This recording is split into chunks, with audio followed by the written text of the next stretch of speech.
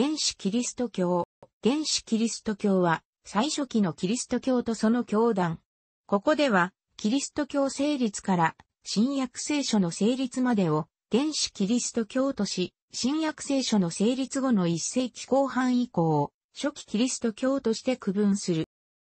イエスの時期でし、使徒たちがユダヤやガリラヤの地において伝道活動、布教を始めたことによって、キリスト教の歴史は始まるが、聖書学者の佐藤健は、最初の福音書とされる、マルコ福音書が成立した頃の西暦70年頃、以前を、ユダヤ教イエス派の運動と呼ぶべきであると指摘している。同種の指摘として、神学博士の加藤隆は、ユダヤ教とキリスト教の決別が決定的となるのはユダヤ戦争後であり、それまでのキリスト教についてはあくまでもユダヤ教の一派であり、ユダヤ教のナザレ派などと呼ぶ方が誤解がないかもしれないと述べている。新約聖書の主要な文書が成立したのは、西暦150年頃までと考えられており、キリスト教が迫害を経て、ローマ帝国の領内で広まり、皇帝テオドシウス一世が380年に国教と定める以前に成立したキリト教会を初代教会、または原始教会、原始教団と呼ぶことがある。最初の教会、すなわち原始教団はエルサレムに成立したと考えられている。ナザレのイエスが十字架にかけられて軽視した後、その弟子や女性たちの間で、存命時のイエスの強烈の人格的印象、語り継がれ、イエスの生前の予言通り復活した、その姿を見たという体験もまた一つの確信として共有された。継続して集会する最初のキリスト教徒たちのグループが形成されたのはエルサレムでった。そこではイエスによって説かれた数々の言葉が与えず、思い起こされ、彼をキリスト、救世主、神の子として崇拝し、その再臨を祈り、待つ礼拝が行われたものと考えられる。その中には、ペトロ、ヨハネら12人の使とイエスの兄弟ヤコブらの姿もあったが、彼ら自身は自分たちがユダヤ教徒であることを全く疑いなかっただろうと考えられる。ユダヤの伝統を踏まえて神殿にも詣出ていた。次第に彼らは強固な共同体を作り、祈りや生産の初期的な形式が整えられ、一定程度の共同生活も営まれ、また共有財産の観念も生じて、さらに集会を維持、継続させていくための決まりも定められていったものと考えられる。こうして形成された原始教団は、当初は現住のユダヤ人とギリシャ語を話すヘレニストユダヤ人からなっていたが、次第にユダヤ人以外、違法人にも広がる一方、教団の拡大に伴い、イエスを直接知らない信者の中にも、教団の中で指導的な役割を担う者が現れ、共同体の組織化が図られた。洗礼や癒し、悪霊払いなどに加えて、外部に対する施しや、奉仕などもなされるようになり、こうした実務を担当する役割として、執事の職が設けられた。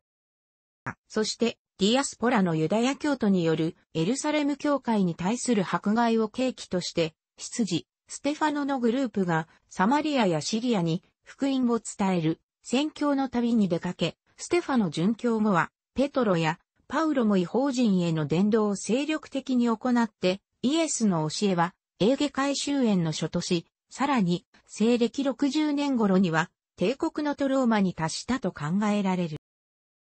しかし、競技師、ドックメンギスチャイトの理解によれば、このようなことから、原始教会におけるキリスト解釈は統一されているというにはほど遠く、それぞれの集団における教義も異なっていたと見る見解がある。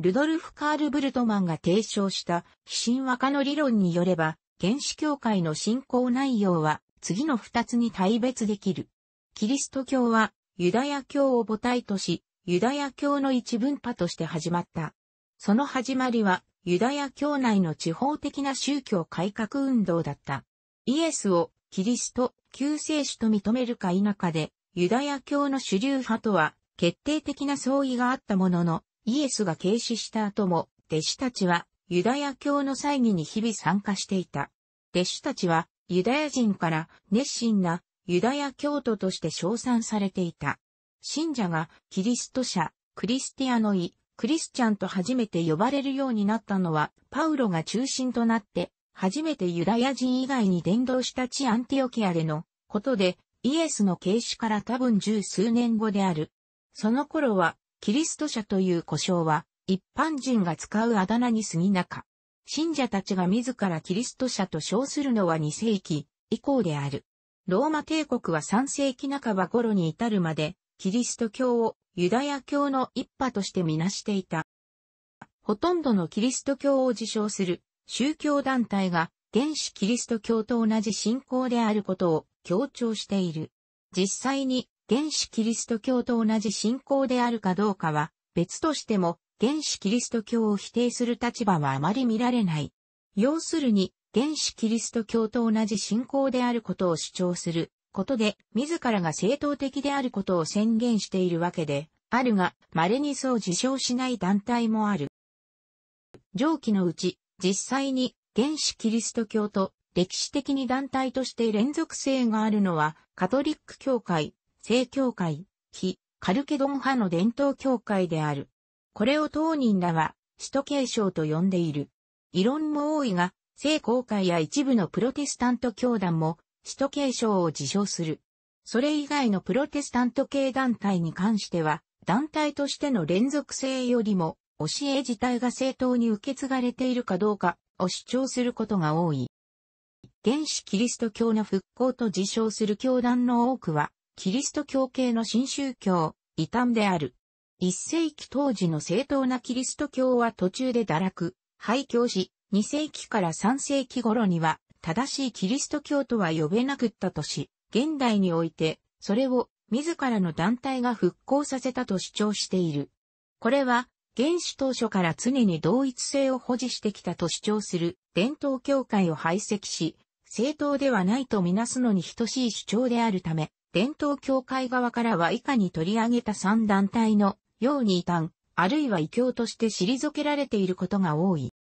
末日聖徒、イエス・キリスト教会は、教義で初代教会へ戻れと主張している。しかし、キリスト教の正当的立場から見ると、その教理は異端的、非福音的で聖書解釈には誤りがあり、キリスト教とは認めがたい。キリスト教のほとんどの教派が従う三位一体説とは異なる教義、すなわち神、イエス・キリスト、精霊は別個独立の人格神であり、神は以前は人間であった。神には、妻、アンモがいる。救われた人間は、死後、天で、現在の神のようになるという神概念を持つ、多神教である。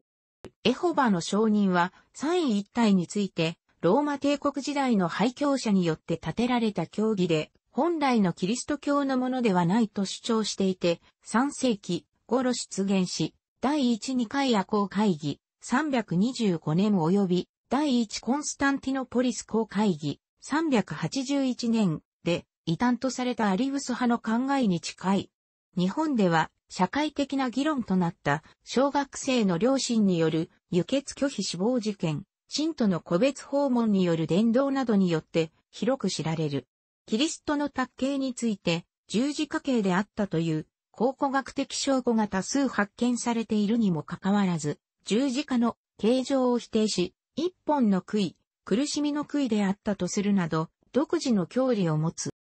イエスの御霊教会は、日本発祥の教団である。キリスト教の三位一体説によらず、唯一の神、イエス・キリストの中にその父と精霊が存在するととき、これをアンネス、神学という聖書絶対主義の立場から、カトリックもプロテスタントも偽りの教会で、イエスの御霊教会こそ唯一の教会であると主張する。キリスト教福音派の牧師、小形守による著書、異端見分けハンドブックでは、P12 でイエスの御霊教会を異端と明記し、P154 から160では、教理的問題点として、三位一体を否定する、信仰のみの救いの否定、死者のための身代わり洗礼を行うを挙げている。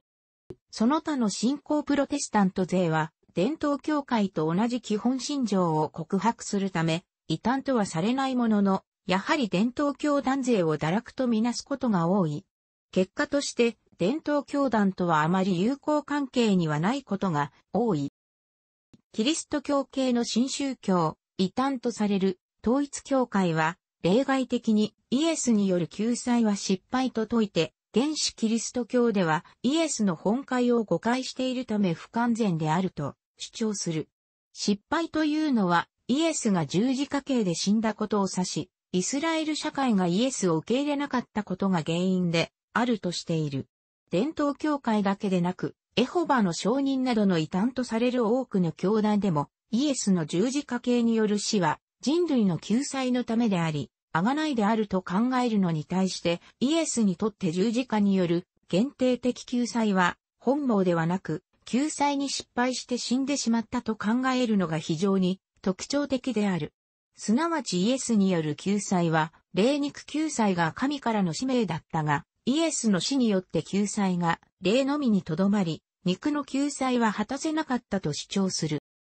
楽しくご覧になりましたら、購読と良いです。クリックしてください。